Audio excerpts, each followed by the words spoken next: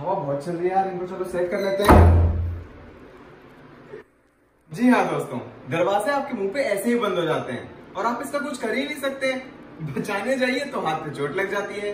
तो इसीलिए आज हम लगा रहे हैं अपने दरवाजों पे स्टॉपर ताकि हवा चले और ये रुके रहे। तो चलिए लगा देते हैं। तो इसके लिए हमें सबसे पहले चाहिए होगा अपना स्टॉपर स्टॉपर जो है आपको डिफरेंट रेंज में मिल जाता है। ये एनीवेयर बिटवीन 70 टू 800 की रेंज में मिल जाता है। आप कोई भी ले सकते हैं डिज़ाइन को देखते हुए एंड अपने घर के पूरे थीम को देखते हुए। साथ में चाहिए होंगे स्क्रूज ये वुडन स्क्रूज हैं कार्बन फाइबर वाले बिकॉज़ ये शार्प होते हैं इजीली लग जाते हैं। इसमें मेहनत कम लगती है, इसीलिए मैं ये वाले प्रेफर करता हूँ। बाकी आप स्टील वाले भी ले सकते हैं। साथ में चाहिए हमें ये स्क्रू ड्राइवर आप स्क्रू ड्राइवर नॉर्मल भी यूज़ कर सकते हैं, पर काम जल्दी और आसान करने के लिए आप ड्रिल मशीन में ऐसे अटैचमेंट लगा के इससे भी कर सकते हैं। साथ ही साथ चाहिए एक एक्सटेंशन बोर्ड अगर आपका प्लग ज़्यादा दूर है एंड इसे आप पावर दे पाए।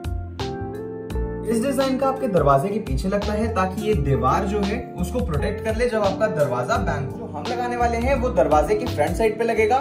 थम रूल ये है कि आपका दरवाज़ा जिस साइड को बंद हो रहा है, उस साइड पे आप इसे स्टॉप करना चाहिए तो इसीलिए आगे लगेगा एंड वो वाला पीछे की तरफ़ लगेगा। इसको लगाने के लिए आपको क्या करना है, थोड़ा सा इसे एंगल दे दीजिए। एंगल देने के बाद इसको इस तरीके से रखिए कि एकदम ज़मीन पे अच्छे से रुक जाए। उसके बाद आपको कुछ नहीं करना है, अपने स्क्रूज को आराम से लगा लेना है और ये आपका फिर स्टॉपर आराम से लग जाएगा। तो चलिए अब स्क्रूज लगाते हैं। मशीन से लगाते हुए आपको ये ध्यान रखना है कि धीरे धीरे अगर आपको स्क्रू लगाना है, एक साथ नहीं लगाना है।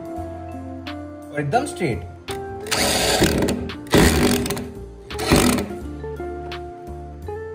ऐसे लगा दिया? पहले दोनों ऊपर के लगा लीजिए ताकि एकदम सीधा रहे। एक लगाने के बाद चेक कर ली कि आपका दरवाज़ा रुक रहा है या नहीं रुक रहा है। तो सब बढ़िया है तो चलिए दूसरा लगाते हैं।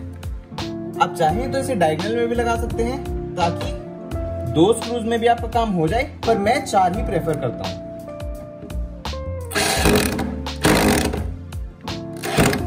जब सब हो गया हो तो एक बार लगा के चेक कर लें और हमारा दरवाज़ा एकदम परफेक्ट हो गया।